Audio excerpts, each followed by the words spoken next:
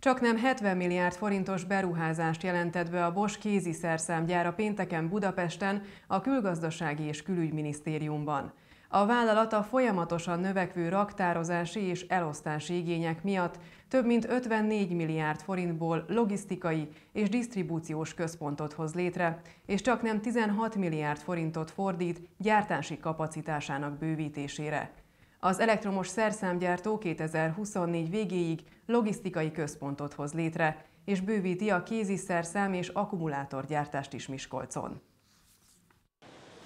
2021. júniusában egy új 20 ezer négyzetméteres csarnokot adott át a Bos Miskolcon. A csak nem 14 milliárd forintos beruházással azóta bővült a gyártókapacitás, és a legmodernebb technológiákkal készülnek a kéziszerszámok, illetve az e-bike akkumulátorok. Pénteken egy újabb beruházás bejelentésére érkeztek a Bosch csoport és a várost képviselők a külgazdasági és külügyminisztériumba. A Miskolci Robert Bosch Power Tool Kft. 2024 év végéig két, összesen csak nem 70 milliárd forint értékű beruházást valósít meg.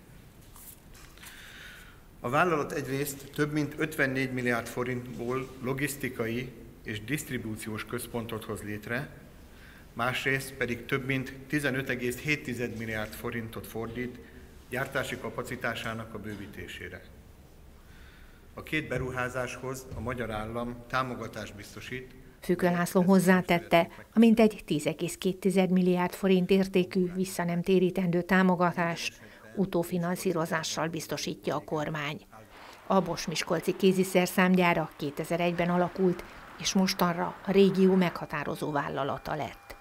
A mostani beruházásban egy csak nem 100 ezer négyzetméteres épületben magas automatizáltságú raktárközpontot alakítanak ki, több kiemelten fontos logisztikai funkcióval.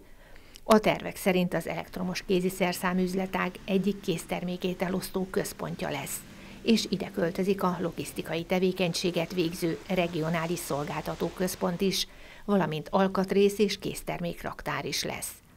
Kapacitásbővítő beruházásuk pedig új, innovatívabb akkumulátorok, kéziszerszámok és kertigépek gyártására is alkalmas lesz mindent meg kell tenni, és szisztematikus lépéseket kellett végrehajtanunk ahhoz, hogy az iparterületeinket kecsegtetőbbé, vonzóbbá tegyük a külföldi beruházók számára. Az elmúlt 12 évben soha nem látott mértékű úthálózatfejlesztésbe kezdtünk. Itt gondolok elsősorban a Miskolcot elkerülő út megépítésére, aztán megépítettük a Miskolc-Kassa autópályát, az M30-as autópályát, és most már sokkal gyorsabban érjük el egymást a, két város között. Szijjártó Péter szerint a Bosch csoport Magyarországon csak nem 20 ezer embernek ad munkát, és a nehézségek ellenére sem változtatott stratégiáján, vagyis beruházásokkal megy előre. Ahogy eh, a Bosch csoport sikerének, úgy a magyar gazdaság sikerének is az az alapja, hogy eh, a beruházás ösztönzésre, a beruházások támogatására helyeztük, helyezzük a hangsúlyt.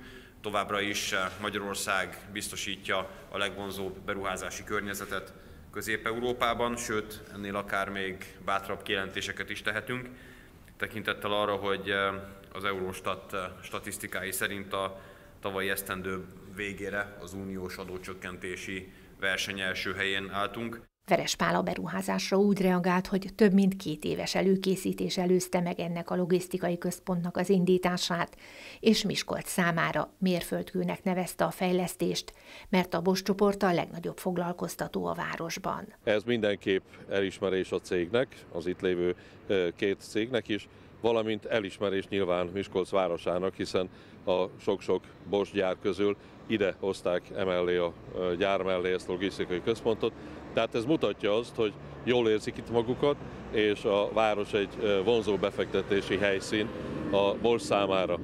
Ahogy említettem is, ez kapacitásbővítés, hiszen létszámban is jelent újabb foglalkoztatási helyeket, valamint mindenképp megerősíti a pozícióját a cégnek itt a városban. Pál polgármester bizakodó, és hozzátette, hogy hamarosan további beruházásokat jelentenek be Miskolcon.